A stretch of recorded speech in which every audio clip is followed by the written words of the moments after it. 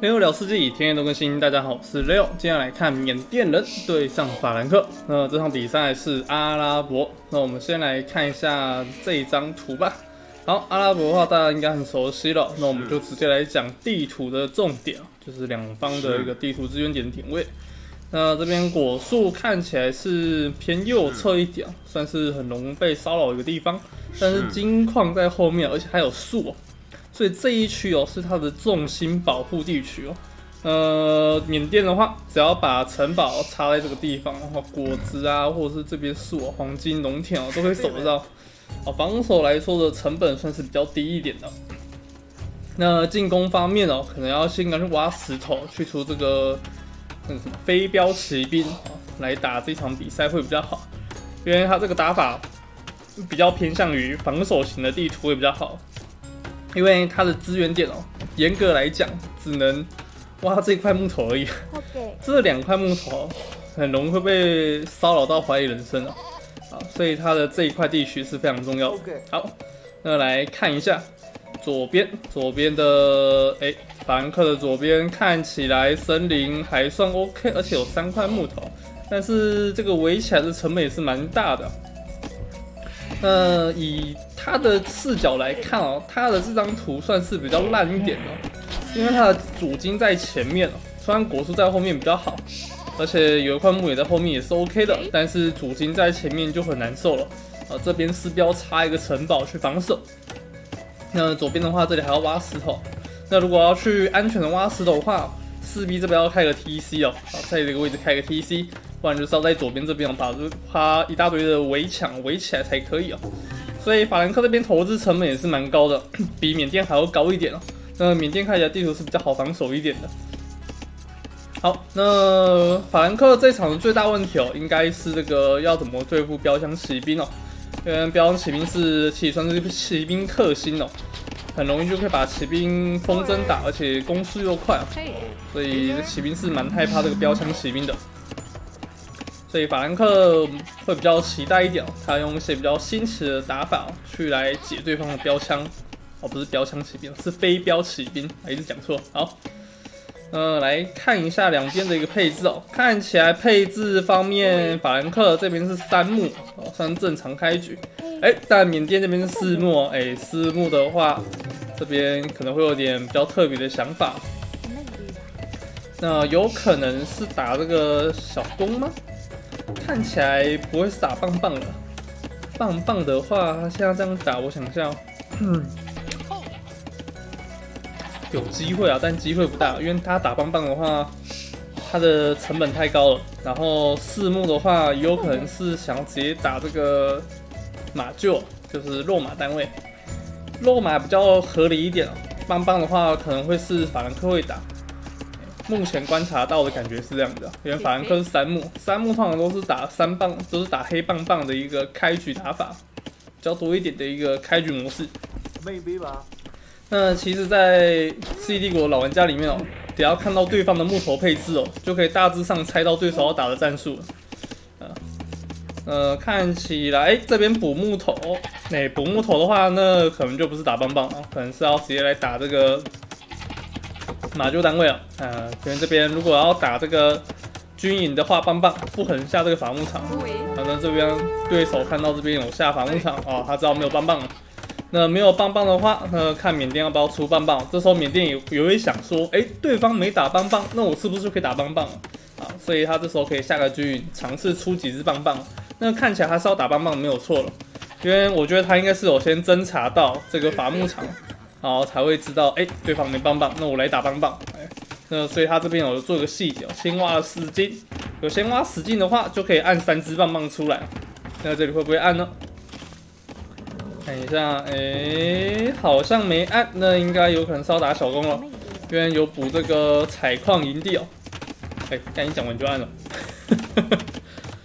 因为这场比赛，我是真的只有看到结局，然后前面发生什么都不知道，所以我只能用一些 C D 国的老玩家们的一个经验去判断他们的战术选项。那我只能稍微跟大家解释一下为什么会这样讲。那我也比较，我会比较讲出一些比较有有依据的一些逻辑推论，然后来去判断对手打法。那其实这种判断能力哦，在打 C 路是非常需要的，因为你不知道对手在干嘛的时候，你就会很慌啊。但是如果你的斥吼一直有去探查对手的一个经济配置吼，你就不会太慌了，因为你就会大致掌握出哦对手的战术是什么，那你就可以去提早去防范，那就不会有那种，诶，就是不知道到底自己要干嘛那种窘境哦。好，那这边法兰克看到对方打棒棒，还是坚持打这个肉马，这个马厩还是下，而不是下这个射箭场，因为如果他要下射箭场的话，会先通常啊，在黑暗时代的时候就会先放这个采矿营地了。那这边没有放，就是要打肉马。那待会还是应该还是会挖出去挖金矿，然后尝试去出这个战矛，因为对方可能会转小攻哦。这边对方有挖黄金嘛？那他刚刚法兰克也是有看到，虽然挖黄金数量很少，只有两个人。两个人的话，可能是也不会出小攻，可能是直接就是封面时代挖一点黄金，然后就到两百金，然后上城堡时代。啊，这种开局也是有可能。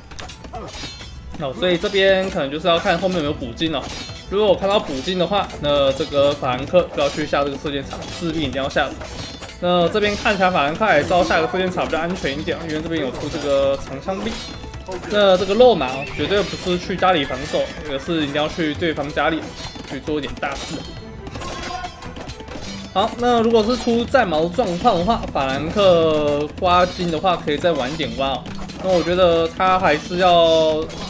最终还是要挖金嘛，因为你要上这个城堡时代，啊，这个金矿也是要挖，毕竟城堡也是需要用到黄金的。哎，这边补下第三个挖矿的人，那你就是要出小工了。哎，对，这边射箭场已经出了。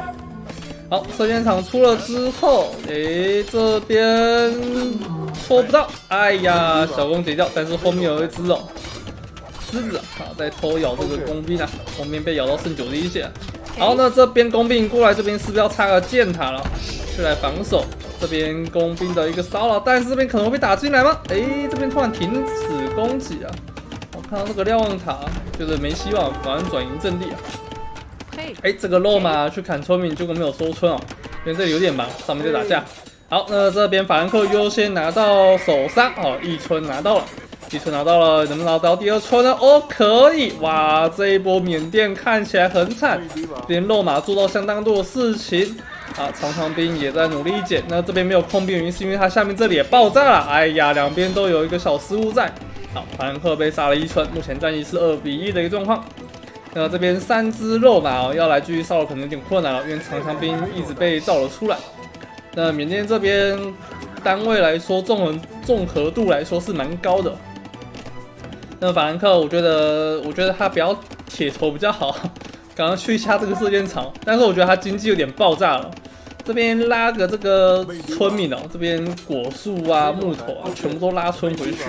这一些移动时间哦，已经浪费法兰克很大的一个采矿时间跟采集资源的时间，所以导致你看这分数已经明显被拉开了一点。好，那这边看起来缅甸家还是过得比较好的，那法兰克是有点痛苦，这个经济爆炸，没有出小工，问题就会变这样子哦。如果不出小攻的话，至少要出个战矛。所以玩先马国玩家们哦，遇到风间这种开战情况，还是要去补一下这个射电场比较好，避免才会遇到像明天这样直接打凶的，连小攻都出，然后装甲什么都有。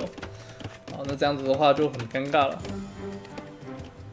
因为你自己有，就只能当沙包，背着被 被他们一直打。哎，但是法兰克这边又找到一村，那就是三比二。哎，有点稍微打回来一点。但是经济来说，法兰克还是相当落后的，这个经济有点爆炸了。好，你看这边下面啊，完全不能，他只要兵哦，这兵走来走去，你只要没有出这个射箭场，你这一坨兵是永远解不掉。在这个时期的时候，如果你真的要硬解的话，那也是要到城堡时代哦，然后出这个骑士哦，才有可能解到这些。那最好的方法还是要先出这个射箭场，然后出战嘛，先 counter 他全部的兵种，然后利用操作手速去解掉所有东西，会比较好一点。就算没解掉，战矛也可以有一定的给他一点小小的压力在。好，那这边看来又要再拿到一支长枪兵，我也是村民啊。那这边长枪兵直接把肉马赶了出来，当然法兰克肉马还是在出，但缅甸这边有点在偷偷要准备上城堡时代了。但是这边 却先点这个鳞甲是怎么一回事啊？哎，增加这个长枪兵的防御力吗？啊，顺便增加这个装甲的防御力，装甲步兵的防御力。对，真的是有点有想法。哎，结果这边出了一只战马，好像被砍死了。哎，战马好像没有控好，因为要控前线的这个马单位哦。哎，看起来也不是被砍走，是直接把战马往前派，没有守家里。哎，那这个法兰克打得算偏激进的。呃，如果要全部欧英流的话，那家里就要守好了。那这个黄金，我的天，你这里也没有石头可以下箭塔。哇，你看这个金就真的很惨，这个位置哦，很容易被弄到怀疑人生的。好，一挖金直接被抓包。那法兰克这边一直没有挖金的情况下，可能上这个城堡时代了没有黄金。那这个时候法兰克可以选择性的去下这个四级，然后靠买卖的上黄，哎，上这个城堡时代也是可以的。那就要来看要不要上呢？哎，这边是选择下个哨站哦，增加这边的视野哦，不然这边视野太暗的话，没办法预防到。好，那这边视野下好了，那这边防守就会简单一点。但是下面这一块采集点还是没有办法达到采集资源的效果。好，大量战矛直接开丢，再丢下，再丢下，哎，这个走位走的不错，只有擦伤啊，这些长枪兵血量都还是很满的。好，那这边士兵应该是会进来了，因为村民可能会被投死。这个长枪兵、长枪兵跟落马的一个斗志，在我这边是蛮重要的。好，家里出一些战矛直接反制，但这个工兵没有射死，有点尴尬。好，再进去了，但缅甸这边会出肉马吗？哎，有出，好有出肉麻，先解决掉这些战矛兵哦，就问题不大。好，两只肉麻直接出去，工兵也在，好，肉麻也在这边要进去骚扰了。哎，结果这边是没有找到对方的一个位置吗？哎，有点有点视野没看到，刚好在这个视野死角里。好，下面看起来这边战矛有点难打，因为装甲步兵防御很高。这边大战三只肉马，先砍死肉马。OK，肉马全部解决之后，小弓长枪兵全部拉走，直接往前，剩下就交给肉马去解决这些战矛兵就可以了。好，这些毛兵哦，一直被追，应该是没救了。那这边装甲也直接原地开砍，也砍死了几只单位的样子，但自己也没有能力可以反击战矛兵的。好，战矛全数送光，但是这边的工兵跟长枪兵也要接踵而来了。法兰克可能会有点麻烦了。黄金量虽然已经上来，但肉还是不够。城堡时代还没有点，反正是缅甸这表，城堡时代已经点下。哎，战矛直接一个回头开砍，不是战矛这个装甲，哎呀，砍死一只战矛，碎了。哎，是两只的样子，是不是有少一只啊。好，哦，有一只，有一只在家里，随便三只而已，有一只藏起来这。好。好，那这边只有在毛的情况下，法兰克要守住这一波进攻很困难哦，因为对方的混兵是混的比较好的。看有大量的一个工兵在，虽然这边应该是蛮安全，有这个箭塔在就没什么太大问题，但是问题就是下面这一块区域。哎，结果这边尴尬。离的这个箭塔太近了，直接射死一只小弓。好，战矛顺利的收掉了一只装甲。那这个装甲想要再收掉一只毛兵，看来没收到。好，那以上城堡时代之后，缅甸选择下这个骑士，哦，打骑士攻击，然后再升级这个弩兵哦。弩兵的话有升这个一级射，那他这边由于封建时代没有先升一级射的关系哦，所以这边二级射可能会很晚才会上。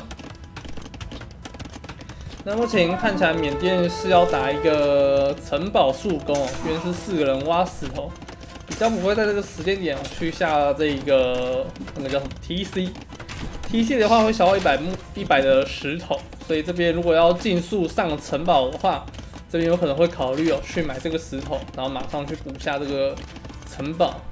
呃这边石头的话就可以用，哎，直接还是可以下 TC 哦，因为如果是用买的情况下。高速打飞镖骑兵的话是有这个打法的。呃，这位玩家看起来是瞄这样打。那这位玩家是 Dank，Dank 我记得他也是蛮蛮厉害的，但在职业比赛里面没有那么常见，不像 K R 他们跟 Michael 他们一样那么很容易出现在那个 S 级比赛里面的感觉。虽然他也算是高手中的高手。好，那这边一只骑兵直接过来砍爆三只、四只战矛，哎，也不是战矛，只是毛兵而已，还没有升级。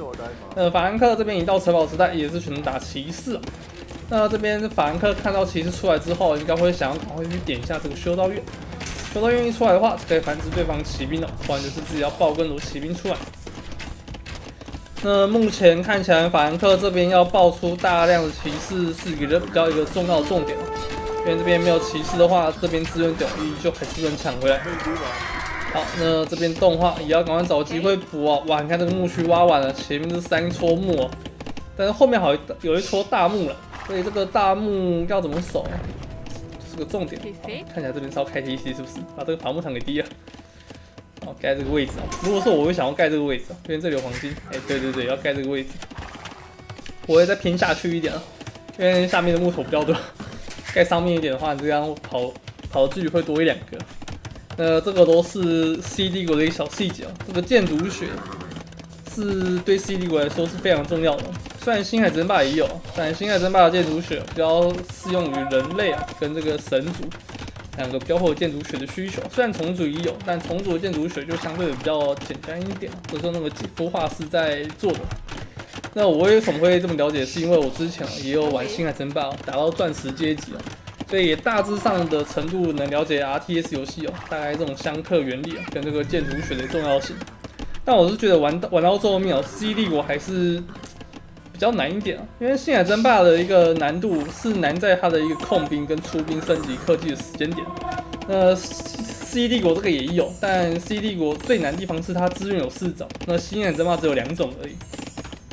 而且星海争霸的资源哦，经济根本不用控啊，你只要把人民补满就好，然后防空啊、防骚扰、稍微防下侦察到就没什么太大问题了。但是。但是世纪帝国是这些事情都要做之外，还要去控制经济的配置哦，多少人挖金，多少人挖木，而且这些东西在前期是更是重要的，所以说世纪帝国难度就比星海还要高一点，我觉得。虽然世纪帝国的手速不像星海那么高，但星海我觉得比较重要就是侦查跟手速是最核心的一件事情。好，呃，这边直接两只村民过来招降，骑士直接反打，但是反打的兵要先打战矛兵，大量村民直接过来修理。好，但是工兵过来了，那这边没有先点掉这个战矛的关系，所以战矛有可能反击，但战矛没有防御啊。那这个也不是战矛，也是毛兵而已。哎呀，直接被射光光了。好，反克这边前期的一个骚扰有点失败，而且后面还有两只骑士在虎视眈眈的，你看见没有？啊，这边 T C 盖太前面一点了，所以这边村民就开始移动。这个就是 C 帝国比星海难的地方之一啊，就是这个细节没有处理好，这个资源量很容易就跟对方会有拉开距离的问题。好，呃，哇，那些僧侣也出太多了吧？好，那这边缅甸这边选择把城堡放在前线，而没有先放在家里这边这个位置去守主金的位置。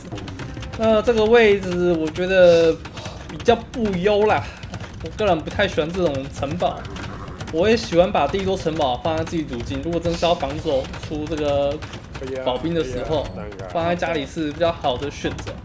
因为如果放在太外面的话，很容易就人家一个骚扰直接进来，很容易就会手包东西，所以是这种金矿资源点。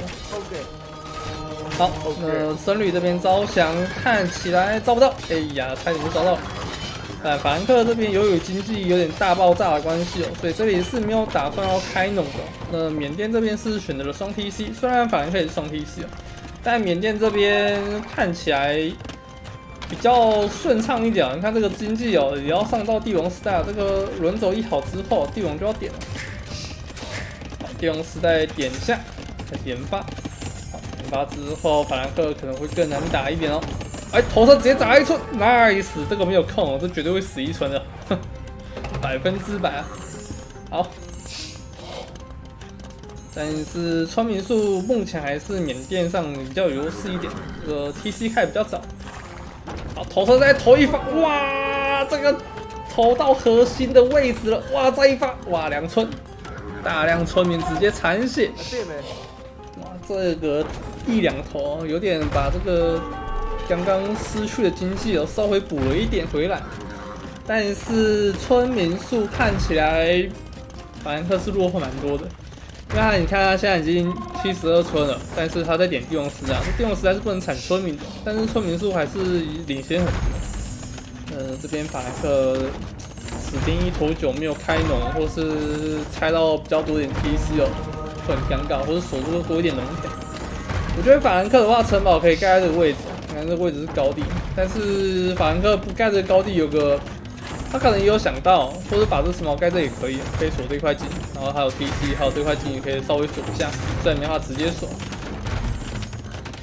它会有个问题，就是如果把这个城堡盖这个位置，虽然是高地，然后可以锁到很多田，但是问题是城堡是城堡在这里。而，对方应该他看到对方归家里哦，应该心里有底。对方经济这么好，应该是已经点帝王时代。然后等巨头一出来哦，那因为法兰克没办法瞬间上帝王时代，很容易就前线盖城堡就送掉。那法兰克应该是在顾虑这一点，所以便有把这个城堡前压到这个位置。那这边的话，比较有可能盖个城堡。那现在是哎，石头够了，哎，城法兰克城堡是全游戏里面最便宜的一个文明，所以这个石头应该是可以盖这个位置。但这个位置也是蛮近的，所以凡客我觉得不要前压宝。前压宝的话，虽然可以顺利解掉个 T C 哦，但是没办法。哇，塞一发 啊，哇，又一发，看我头很痛啊！好，这边砸一下，哎，这个没控好。再来修修，嗯，没办法来修，爆了，哎，但是这个救赎思想好，救赎思想好之后，就可以用生命来招向投石车，但是没有点血量，直接倒地。但是投车被招到，投车直接反击开砸，但是凡客的僧侣是没办法招降的。好，这边由于大量骑士过来，缅甸僧侣开始过来全招。好，那这边标飞镖骑兵过来了，飞镖骑兵打骑士很强，但是没有想要去找骑士，而是要去骚扰吗？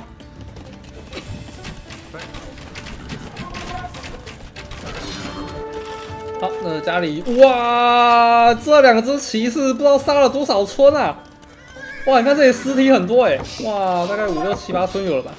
哇，这边缅甸哦，趁人之危啊！前面看到帝王时代啊，这专门在很专心在控前面的兵的时候，这两只骑士立大功啦！哦，不知道已经砍多少村哦，村民数应该是有落后的。哎，八十四村。现在是看起来是没有落后还还反超，哎，这边还有第三个 T 四啊，T C 多缅甸一个，很怪，然后 T C 又被拆了一个，哦，所以这边反超，嗯，好像正常。哎，结果这个高地啊，被缅甸盖了城堡，可能是缅甸盖这个高地吧。好，那法兰克中想开了，用骑士去骚扰。好，来这个机动作战才是正确的。OK，这边大量村民直接被骑士砍了个正着，怎么办？四下，两下，一下，哇，四刀死一只村民，这边村民超多，已经要被屠杀殆尽。但是 TC 只有一个，目前缅甸是单 TC，哇，这个缅甸看起来超凉亮了。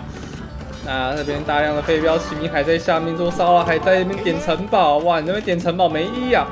家里大量村民已经要 BBQ 了，很多村民只能逃难到 TC 一下。缅甸的村民只剩下六十几村，大量的骑士直接兵临城下。缅甸的飞镖骑兵能不能拯救世界呢？虽然飞镖骑兵对于骑兵来说康可是不错的，但是只要被贴上来的话，这个扣血速度还是很快。好，那目前看起来。投石车也出来了，但是家里的经济已经炸开了。缅甸势必要用这个飞镖骑兵打到更多的经济伤害才可以啊，不然这边可能会有点打不太回来。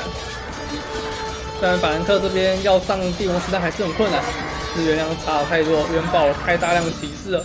那法兰克也一定要这样打，不这样打的话可能会更难赢哦。因为他不赶快去爆这个骑士出来去骚扰对方村民，呃，待会哦，那么可能会更难打。因为如果他这边硬要上帝王时代，虽然时代跟上，但经济没有骚扰到，还是有可能被鸭子打的可能性是很大。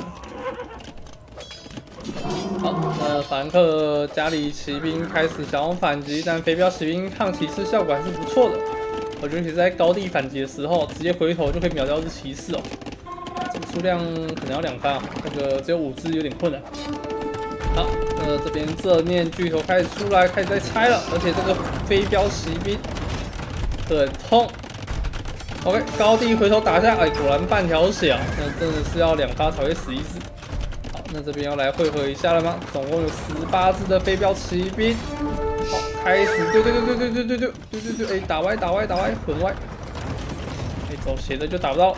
好，那这里还有三只飞镖骑兵想要来攻击这边挖矿的，哇，直接抓到。但是飞镖骑兵的缺点就是很容易射歪啊，哇，这是大家的梦魇啊，最讨厌射歪了。那射歪就很尴尬，我射不准。好，那这边这边巨型投石机直接开砸，哎，开砸，那这边就村民了，大概有十三村，十三村的话还有机会哦，这边只有两台巨头而已，十三村是有点有余力了，再点下这个砖瓦基数，应该是可以十三村修得回来的。好，但是法兰克大量骑士又在去缅甸家里做骚扰，但缅甸家里的城堡的数量也越来越多。哎，看这个城堡要是盖这个位置有多好，对不对？哇！这里还可以锁到主镜啊，但主镜已经被挖完，就没差。好，那这个城堡确实真的守不到什么东西啊。这个城堡位置下的是要非常的细心啊。好，那第三台巨头要过来了吗？第三台巨头还在家里，这里只有两台而已。你看这个城堡啊，已经是修得回来了。要打城堡就要三巨头，没有其他选项了。但骑士数量刚刚由于在突袭缅甸家里哦，所以自己的数量一直没有起来，而且缅甸村民也没拉起啊。其实法兰克再这样继续拖下去是有机会赢的。呃，法兰克这边来直接打一波，大量骑士直接上场，呃，骑士直接拧家过来，大量的飞镖骑兵直接输出。骑士再直接硬打巨头，硬打巨头，浪费太多时间。飞镖骑兵有很多的时间可以输出，这边还出了支付兵，但支付兵的射程不太够，所以很难贴上。这边法兰克失去大量的骑兵，感觉要失利了。大量的飞镖骑兵还在生产，法兰克该如何面对这一波交战？法兰克并没有赚到太多便宜，最后拆掉两台巨头，第三台出来了。那这边的话继续拆的话，经济能拉得起来吗？村民也还在铲，但是家里还是被烧了，所以拉了一些骑士过来反击。好，这边想要秀一下操作，就被对方秀。哇，残血的要拉走吗？哎呀，直接死一次。好，那这个城堡修好了。那这边还有一坨飞镖骑兵九只，有点多，兵分三路，带一只骑兵追两个飞镖，哎，但是又砍死一只。哇，大量的飞镖骑兵很痛，打穿的速度效果很好。这边二级伐木也补下，但是这个肉量还是没有存，还是去硬点了骑士跟这个子府兵哦，看来是要来打第二波交战了。那缅甸这边要做的事情哦，就是要去强化自己的军事哦，经济要慢慢补起来，因为只有强军事哦，才可以让对手贺主在这个位置，让他的主力部队哦不要往他家里冲。呃，如果要守住这个地方的话，势必要强队强力的军队守在这个地方哦，才可以做到这件事情。这就是有点心理学的一上的一些感觉，我觉得这是心理战的部分。其实以法兰克现在最好的方法就是不要理这一坨兵，这坨兵真的是可以用石头去换争取时间的话是最好。但如果他这边要应用这个骑士去硬拆巨头的话，我觉得不太优。哇，你看这边飞镖骑兵打这个骑士太快了，骑士死的很快，怎么办？完了，没了，法兰克这波。要 GG 哦！这这这看起来没救了。飞镖骑兵太强大了，直接把大量骑士打倒，支付兵也倒地，还直接硬点城堡，会不会太太太膨胀了？好，第三台、第四台巨头出来了，强军是缅甸，村民输很多，输了四十几村，但是法兰克却有点岌岌可危。哎，你这个弩炮是在雷。看他心态应该是没了，这个弩炮送光苗怎么打？但这个弩炮感觉也是没机会啊。家里这一坨飞镖还没解掉，经济还是很惨。好，这个城堡掉了，法兰克可能就要打 GG 了，因为这边没有东西可以守住缅甸军的一个进攻了。好，缅甸军看起来没有城堡就可以畅行无阻了。哎，法兰克打出了狙击。来看下两边经济吧，两边经济，哎，看起来法兰克是感觉前面比较好一点的，因为这个轮走蛮早就点下的，那缅甸是到后面才点的，所以这边经济哦，确实也是法兰克比较好，但这游戏不是谁经济好谁就会赢，所以你输经济的时候就用强攻去碾压对手啊。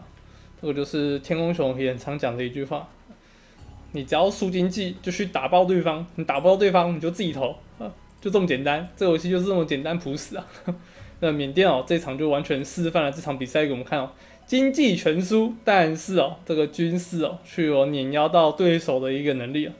所以这个取舍，你不能因为自己的聪明哦被打爆了，你就觉得啊自己没希望就投啊，你还是很有希望的，只是看你要不要坚持下去啊。